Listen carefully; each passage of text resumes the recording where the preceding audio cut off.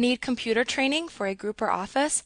Contact us today to get a free demo of our training at www.teachucomp.com forward slash enterprise dash licensing. If you have a connection to the internet established, then you can select Help and Updates from the menu bar to launch Internet Explorer and connect to the Adobe website's download page. Here you can find updates for Photoshop and other Adobe products you may have installed on your computer. After Adobe locates any available updates, you can see what they are by clicking the left pointing arrows to reveal the updates in the applications. For example, Bridge right here has three updates available.